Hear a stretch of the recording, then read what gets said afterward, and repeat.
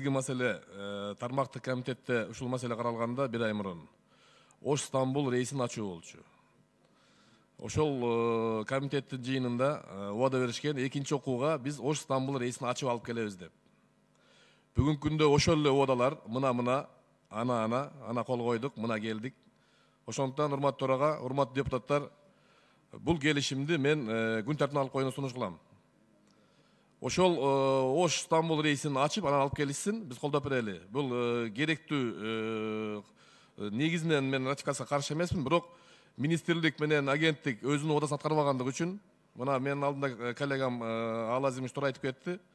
Оштон келип учуп атышат бул жерде. Бүгүнкү күндө статистика бар. Алтымыш пайыздан ашуун ош стамбулдун жүргүнчүлөрү оштон келип учуп атышат.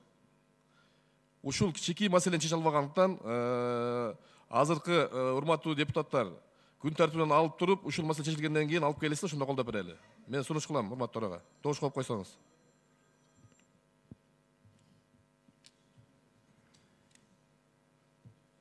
Жооп бересиздерби өкмөт оюңуздарды айтып коюңуздар адвокат мамадар расулович комитеттин ою кандай болот эми комитетте колдогонбуз кайсыны өкмөттүн өкүлдөрү оюн Ме- мен айткандай урматтуу улуубек зубкович э, баарын эле баягы өзүбүздүн эмгегибизди как говорится э, жумшадык. Бирок э, биз деле күтүп атабыз тезирээк бүтсүн деп.